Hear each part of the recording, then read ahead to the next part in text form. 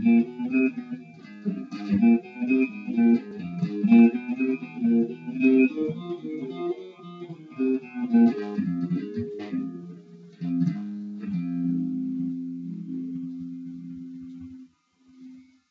there, and welcome to the show. This show airs on Sundays at 3 o'clock p.m.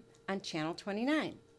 So remember, you can use my Twitter handle at Paula Fiscal Show and use the hashtag SF Commons. And we're also on Facebook.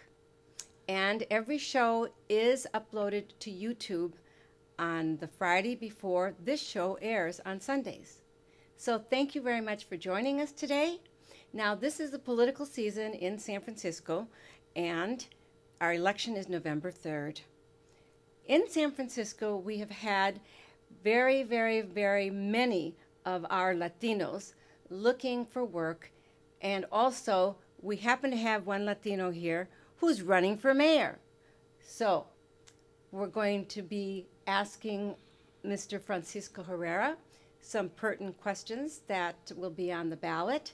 We're going to get his opinion on how we should vote on certain um, propositions, and we're going to hear a little bit from him about his background. Now, I can tell you that according to my Google search, Mr. Herrera, this is his first run for mayor, first run for public office, excuse me, and he is from Mexicali, a border town in Mexico. He's 52 years old. He studied political science and graduated with a master's degree in theology. So, to begin with, we want to welcome Francisco and tell us a little bit about what it was that made you believe that you needed to run for mayor. Yeah. Well, and also with all with great love and respect for Mexicali, I was uh, born actually in Calexico, California, which is on the U.S. side of the border. And Mexicali is the great city of over two million people, with a large Chinese and Arabic population, actually, along with the rest of us, ¿verdad? um, Interesting. Yeah. Well, you know what made me uh, walk for mayor? We're, we're saying we're walking for mayor in, in our team because it's a we need to develop an organized way of uh, proceeding and really looking at political change in a way that actually changes the way we do politics.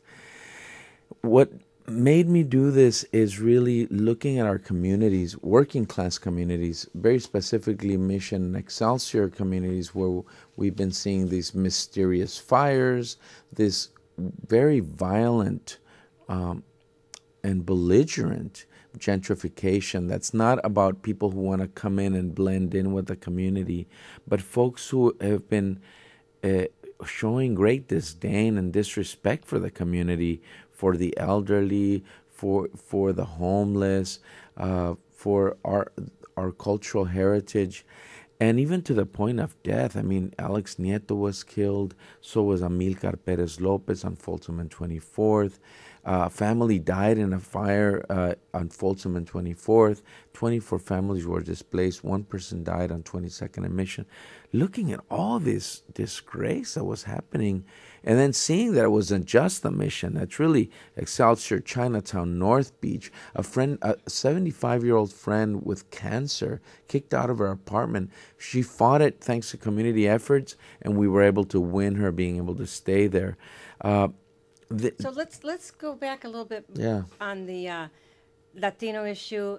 How many Latino families have been displaced? Yeah, when we were preparing to challenge the monster and the mission and other gentrification projects, we discovered in the process 10,000 people in the last three years have been displaced, evicted from the mission, 8,000 of which are Latinos and Latino families.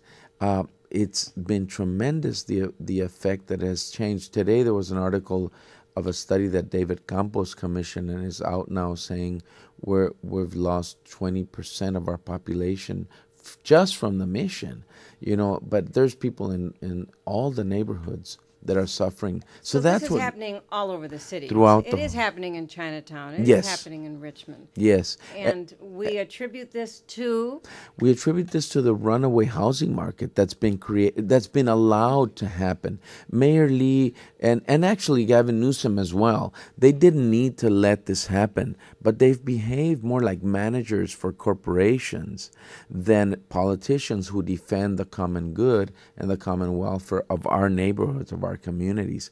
And so this has been allowed to happen where where, where houses that are not worth a million dollars are being sold for that quantity because there's been no oversight, uh, just like there's been very little oversight over uh, the behavior of police or the training, that kind of thing. So we need politicians to behave like politicians and protect the common welfare.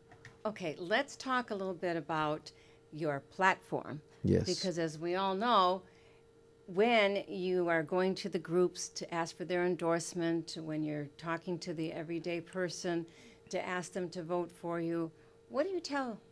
Well, you know what, Paula? It's very interesting because we didn't go asking for endorsements at, uh, hardly at all. Well, we went and asked, what is the major issue that's affecting your community, your generation, your group?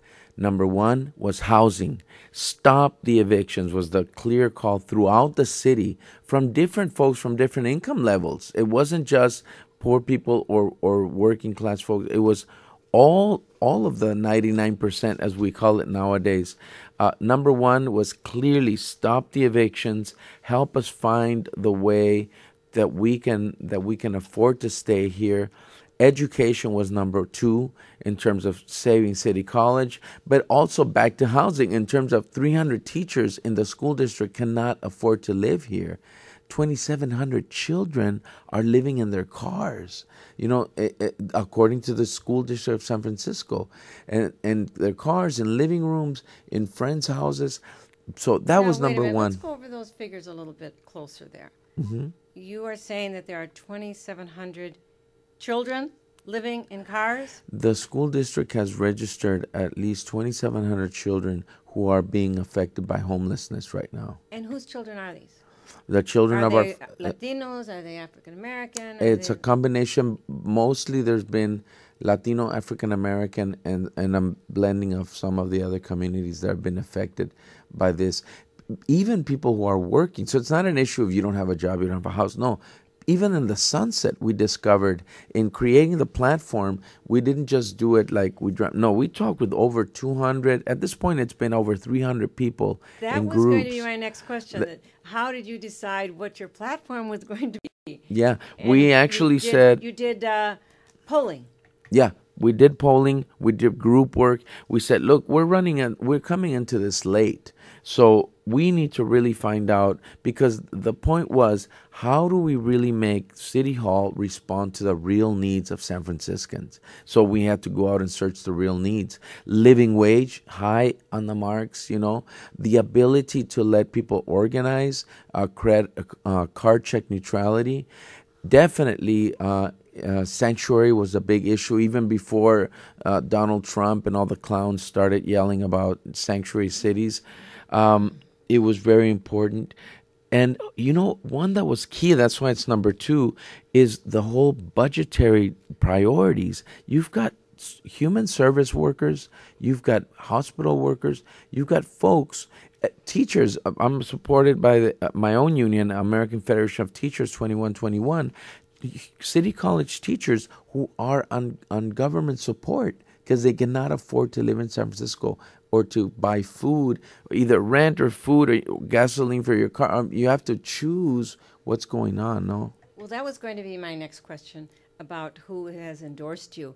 And uh, earlier you were talking a little bit about uh, people from Local 21 and- or COPE, and uh, they came to you unsolicited.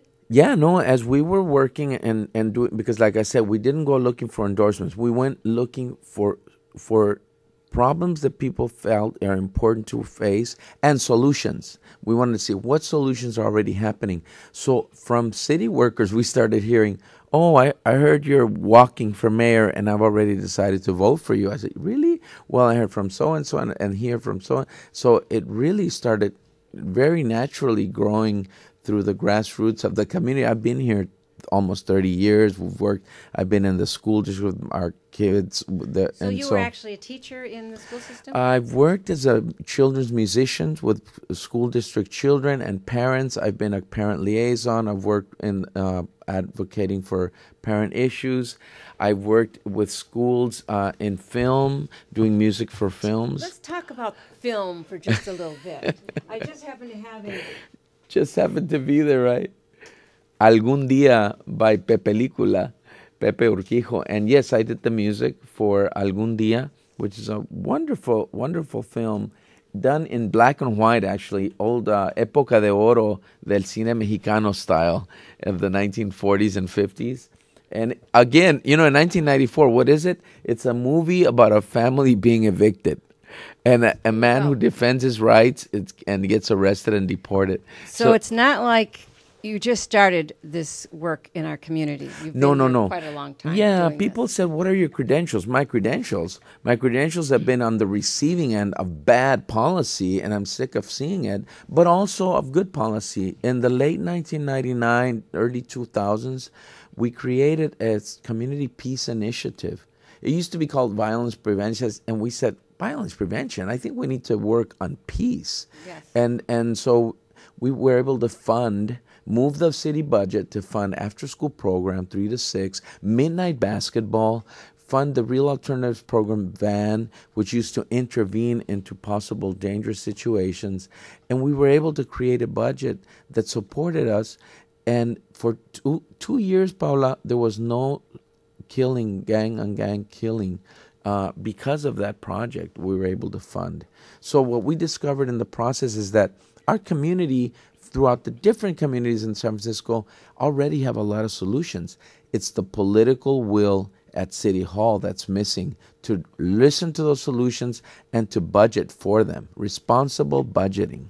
Let's talk again a little bit more about the budgeting that takes place in City Hall and how the priorities are identified and who does this. Do you think it rests just on the mayor or is it the Board of Supervisors? No, I think it's a combination. I think the last three mayors have created a situation where uh, it's not just pay to play, but if you don't have enough money to live here, they say if you don't make two hundred thousand dollars a year, you can't. They kick you out. You shouldn't live here. As are you going to say that to an eighty-three year old lady who's who made this city? Oh, sorry, you're on a fixed income. You don't make two hundred thousand dollars a year. Get out of here. Is that the kind of city we want? So that's the, the, the budget question for us is what city do we want and how do we pay to have that city that we want for ourselves, our children, our grandchildren? Let's talk a little bit about the uh, initiatives on the ballot. Uh-huh. For example, uh, Proposition 1 to temporarily suspend luxury housing development in the mission. Once again, it's a runaway housing market has been created. None of this free market, the invisible hand of Adam Smith. It's the sleight of hand of bad politics, irresponsible gambling with our city budget, and and the mayors allowing investors, not developers, investors whose bottom line is what? Profit. At whose expense? At our expense. There's no free lunch and there's no free market. We defined what market benefits the city of San Francisco, what market benefits the people of San Francisco, and we go after those goals and we make it work. Working together, supervisors, administration of mayors, and working together, we create the wisdom of the city. Okay, on that note, let's just talk a little bit about one of the initiatives on the ballot, which is Prop F. And for those of you that are unfamiliar with Prop F, this is the one where it's going to limit short term rentals. Uh, primarily, the uh, opposition to this is Airbnb, because currently, right now, there are many, many uh, landlords and master leaseholders that are renting out their rooms and their apartments to Airbnb for more money than they're paying rent because some of them have a, uh rent controlled unit. So, what is your position on this? Yes on F, and I didn't finish answering on I, but yes on I, which puts a stop so we could rehash and relook at how we can create housing for our families who are here. Same thing with F. F basically is already existing in New York, in Houston, in other cities, uh, where you're basically saying if you're going to turn your house into a hotel, you know, we have to put limits on that. And Airbnb and the other, because it's not just Airbnb, Right. but there's other platforms on the internet, Exactly. right? Uh, you have to pay like a hotel, then pay your your fair share of taxes, and not kind of create these little loopholes where you can become rich on our expense. Once again, our ticket, you know. So yes on F, yes on I, and we included H there too because affordability, Paula, is not just about paying the rent. It's also about how we could reduce the cost of living in electricity and uh, power. Powered SF has been working, and in January we'll start uh, making available real competition. You know, I love all these people that talk about oh the free market, but they always are trying to do what monopoly. you know, not competition. So H will provide real competition for PG&E and will provide lower prices on on energy for us. So that's why we're supporting Prop H. Okay, let's uh, go on to list some of your endorsements. And I want to start with the SF Green Party because in San Francisco here, we're familiar with the SF Green Party. They worked with Matt Gonzalez when he Yes. ran for mayor uh, many years ago. But what did you have to do to get that SF Green Party endorsement? Well, you know, I've been voting Green. I've been a Green Party member for for many years. Actually, I remember. Knew I, had rem- met you before. I remember the day on 24th and Mission about 20 years ago. It was like all my life a Democrat, working class, very proud of it. And I just got tired of this old, oh, the better of two evils. Oh, come on, the other guys were. And I just thought, you know, that's it. I got to start voting my conscience and my values. And I signed up in the Green Party. And I haven't been that active, but enough enough to know some of the what was going on. So basically, when I decided to do this this walk for mayor, I went to the Green Party and said, "Yeah, we will endorse you." But other than that, all, all the other endorsements really came up from the grass, grassroots level. Grassroots endorsements. Let me read them because we have a very short show here. Yeah. Uh, SF Tenants Union, San Francisco League of Pissed Off Voters, SEIU Local 1021, City workers. City Workers, AFT Local 2121, the Honorable Tom Ammiano, Sheriff Ross Mirkarimi, Supervisor John Avalos, Concepcion J. Salcedo, PhD, Roberto Hernandez, artistic producer. We also have poet laureate Jack Hirschman, poet laureate Alejandro Murguia, Ruth Franco, Peter Gable, Dolores Reyes. Talk a little bit And the Peace and Freedom Party and the as Peace well. Um, and Freedom Party. and then we also have a newspaper here, which I think you Oh, the have, the west the yes, West Side Observer.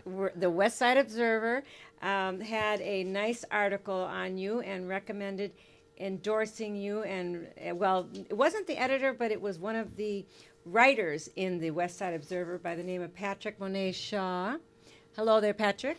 so we want to uh, thank you for that recommendation, Patrick, that says that if you have to vote for somebody for mayor, you should vote first for Francisco, and second for Amy Farah Weiss, and then third for Brokass Stewart. Stuart Schuffman, yeah. Okay, Uh, so that would send a message to Ed Lee. But uh, I want to ask you a story, the story that you were telling me about Local 21, what they what they went through to get you. Yeah, it was really interesting because, as I said earlier, we started hearing from city workers saying, "Yeah, we're definitely voting for you, and we want you to come to the COPE meeting so that we can actually have you endorsed by Local 1021." And it went through a process of, of internally them working it out until one day, uh, I think it was David Williams who said, "You're going to get a call from from uh, the COPE, the, the Committee of Political Action Committee there." and to come. And sure enough, Ariana Casanova, who directs that piece, called and said, "I'm sending you a questionnaire." We went and had the meeting. It was really a great uh, discussion that afternoon, and um, and actually, Aaron Peskin also told me he'd vote for me, and. Uh, I was going to move right into the other endorsements uh, here from the SF COPE because uh, that's a, a pretty impressive endorsement. They Yes. also endorsed uh, Aaron Peskin for Supervisor District Three, Very important. For Sheriff Ross Mirkarimi, and for the City College Board. Yeah. Tom Temprano. I, I totally I support the difference for me is I support Wendy Wendy Aragon. I think she's done a very very good job, and but I, I think Tom has done a great job too. I there was something about Wendy's track record and commitment through City College and Saving City College that I really appreciated the the level of work that w- went with her. But um, Let's talk a little bit about the other propositions. For example, paid par- parental leave for city workers. What is your position on that? Very important. Yes, on B, we need to support our city workers, and and especially we need to get them back to live here. More than half city workers can't even live in San Francisco. So yeah. Okay, and how about Proposition C, the expenditure lobbyist? No, you know, at first it looked like it's a good deal, but then we realized that small groups are going to be loaded with a bunch of paperwork that they And the cannot afford. Yeah, and nonprofits. Particularly the nonprofits. Yeah, so it's really going to strangle folks to be able to to work, and so we decided no on C. Well, uh, forgive me for skipping over the housing bond. Yeah. Let's, but uh, let's save that for last. Let's go on to D, Mission Rock Development. You know, I think uh, personally, I voted no on D because I think it's it sets up. It's really a thing on on building heights, uh, and I'm not convinced about this gentleman handshake. Even even Mayor uh, um, Agnos said, "Well, there's a gentleman's handshake that 40% will be affordable." So, uh, as mayor, I'll make sure that it's a it's a real deal of the forty percent affordable, but um, but I think it's more the issue of height limits and, and breaking that open. I, I I don't really trust that at this point. Okay, how about E, requirements for public meetings? Now, on this one, I had uh, the two students that started the initiative to get this onto the ballot, and they were very earnest. Uh, and uh, it sounded like a good idea until I began to look at the caveats, which is that if somebody from Florida wanted to hold up our meetings, they could. Yeah, So this is an initiative that really doesn't have to go in front of the voters, and it can be handled directly by the Board of Supervisors. Yes, I, So, I say no on E as well. Voting. Yeah, That's a no. Okay, let's go on then. We've spoken about F, the short-term residential Mm-hmm. rentals. Uh, G, disclosures regarding renewable energy. no on G. That was a that was a fight that PG&E thr- tried to put in, and they they worked out, but they couldn't. They backed out, but it couldn't. They couldn't They pull it couldn't out pull it out of anymore. the yeah, ba- yeah, off because the it was ballot. already in the ballot. Okay, so. Yes, on Then we're H. going to I. We said Yes on Yes I on I. for sure. And then J, the Legacy Business Historic Preservation Fund. Yeah, I know. Uh, I know David uh, Campos had a lot to do with that one, Yes. and uh, and I think, I think it doesn't go far enough. To ch- tell you the truth, I think it uh, provides. It's well intentioned. It's well intentioned. Uh, I'm a little bit hesitant about endorsing this one because I don't care for the way you have to get nominated. Yes. You have to go through the board of supervisors. This is something that, for a small business owner, it takes a lot of hoop and, and jumping. and you know what? For the amount of money you're gonna get to it, and it's not gonna go straight to the but workers. it's it's but it's a good step. It's a good step. Yes, It's a step forward. It's a step forward. And, And we've been we working. need to vote for this so that it passes, so that Yeah. we can begin to, To- yes. work on this a a, step little forward. more. As a matter of fact, we were work. I was working personally. Uh, my wife and I were working with Modern Times precisely as a legacy business because it's a v- jewel in the community, right? Right. So there is a very needed space to support small businesses, especially with this runaway housing market.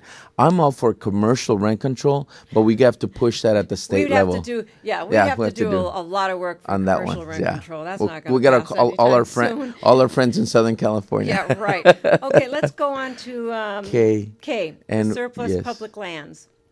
Yes, to really, uh, you know, that's part of the solution of, of looking. Yes, if we take over all the surplus public lands and convert it into affordable housing, that Yeah. would be nice. And then we could have our police live here, our teachers live here. Very our- important. Our, our 2,000, no, make that 3,000 employees that make over $100,000 as department heads here, but they still don't live here. Exactly. Okay? Well, and we have to look at that budget because three uh, three hundred and forty five million dollars in the budget for executives, seven million dollars for travel expense. I mean, w- you know, we really have to look at some of these priorities in the budget and respond to health and human services uh, in terms of supporting human service and health workers, uh, more employees, better pay. Uh, for teachers, for all city workers, really needs to be looked at in terms of the budget. Okay, let's just talk a little bit more about the infrastructure in San Francisco to deal with transportation. Well, I think I think it's really important to question these big buses that are that are destroying the infrastructure of the streets. And when the streets need new pipes, Google, eBay, and all the other guys aren't going to be around to pay for that. Where once again, there ain't no free market. We're the ones that are left to pay for that. And so it, we have to question that and we have to re examine. We leave them at bay, leave those buses outside of the city at some point and make people and make make them pay for Muni. They'd be heroes. You know, Twitter came, they paid for Muni. We all got together a better Muni. They There's could be a hero story if I've ever heard one. ¿Verdad? And uh, with uh, that segue, I want to thank you for joining us. Remember, you can log on to YouTube, The Paula Fiscal Show, and you can see all the shows. We want to thank Francisco Herrera for mayor for joining Thank you, us. gracias. And uh, we want to keep you informed. So please do email us and uh, use our Twitter handle. Check out our Facebook page. And I want to give a couple of minutes for Mr. Herrera to give us a few tips on how to get involved politically and then his closing remarks.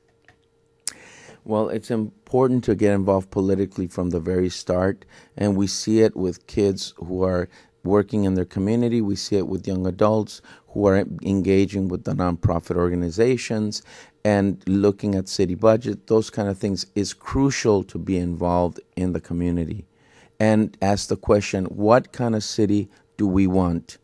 The San Francisco that we love. Ask yourself, what is that San Francisco and how you could make it a beautiful family, working family friendly city again. Thank you so much for joining us.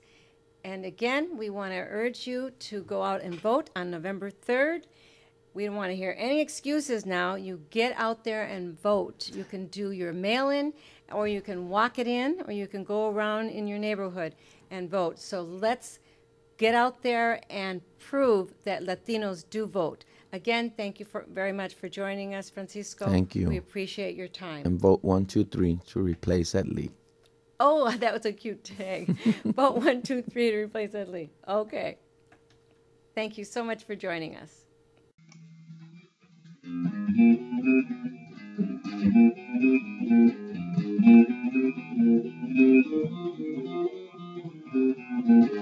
you.